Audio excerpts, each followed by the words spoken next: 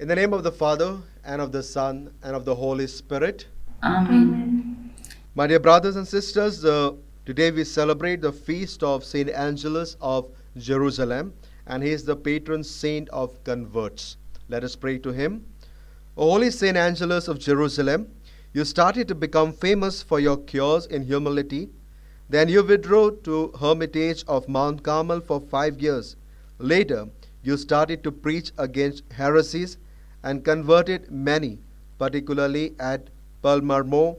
Over 200 Jews sought baptism as a result of your preaching. The other time, when you were preaching to a crowd, a band of ruffians headed by Baragumus broke through the crowd and stabbed, and mortality wounded you.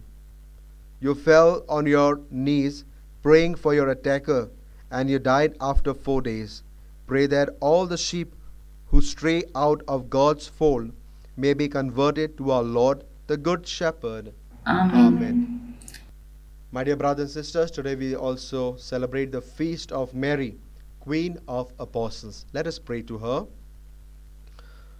O Mary, Queen of the Apostles, I venerate and praise that privilege, unique in the world, whereby pleasing God in your humility and faith, and preserving your spotless virginity, you became the great mother of the divine Savior, source of all truth, and first apostle of truth. I ask you to obtain for me the grace of heavenly wisdom, to be a humble and fervent disciple of Jesus, a devoted child of the church, the pillar of truth. Amen. My dear brothers and sisters, the patron saint of today, Saint Angelus of Jerusalem, is the patron saint of the converts. We pray for them. Heavenly Father, we thank you, we praise you for this day.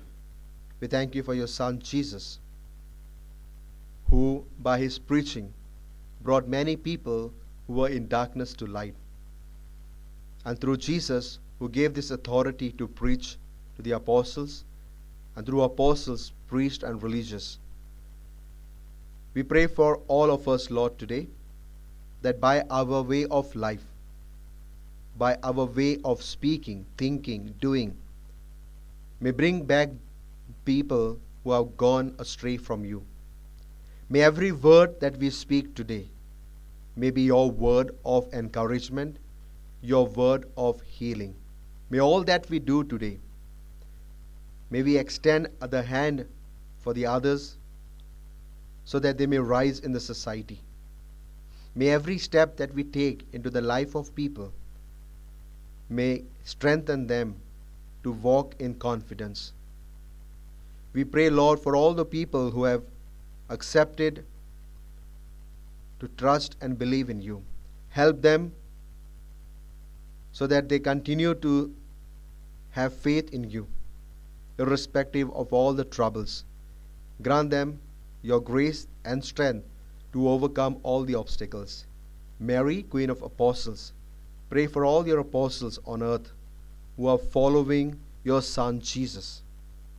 Intercede for them so that through your intercession they may all be strengthened to walk zealously and to spread the message of your Son Jesus Christ.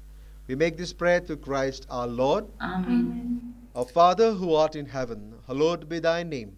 Thy kingdom come, thy will be done on earth as it is in heaven. Give us this day our daily bread, and forgive us our trespasses, as we forgive those who trespass against us. And lead us not into temptation, but deliver us from evil. Hail Mary, full of grace, the Lord is with you. Blessed are you among women, and blessed is the fruit of thy womb, Jesus. Holy Mary, Mother of God, pray for us sinners, now and at the hour of our death. Amen. Hail Mary, full of grace, the Lord is with you. Blessed are you among women, and blessed is the fruit of thy womb, Jesus. Holy Mary, Mother of God, pray for us sinners, now and at the hour of our death. Amen.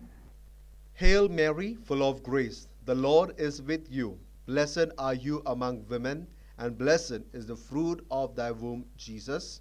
Holy Mary, Mother of God, pray for us sinners, now and at the hour of our death. Amen. Glory be to the Father, and to the Son, and to the Holy Spirit, As it was in the beginning, is now, and ever shall be, world without end. Amen. the Lord be with you. And with your spirit. May Almighty God bless us, the Father, and the Son, and the Holy Spirit. Amen.